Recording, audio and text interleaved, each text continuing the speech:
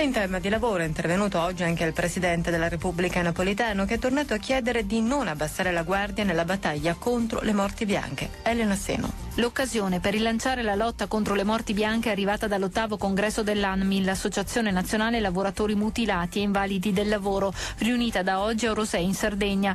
Non bisogna abbassare la guardia, scritto in un messaggio napolitano avvertendo che anche se i dati indicano una diminuzione degli infortuni, ancora troppi sono i casi di mancate denunce, colpevoli silenzi. Dal ministro Poletti è poi arrivato l'impegno a promuovere la cultura della salute e della sicurezza sul lavoro. 750.000 gli infortuni in tutta Italia secondo i dati INAIL che ci riporta il presidente dell'ANMIL Franco Bettoni. C'è sicuramente un forte impegno, grazie anche a Napolitano e a tutte le forze sociali, di parlarne di più ma noi dobbiamo andare dove se ne parla poco, colpire chi non fa sicurezza con dei controlli importanti da parte degli enti e noi diciamo sempre qualcuno che li coordini meglio, un solo ente e potrebbe farlo l'INAI per tutti.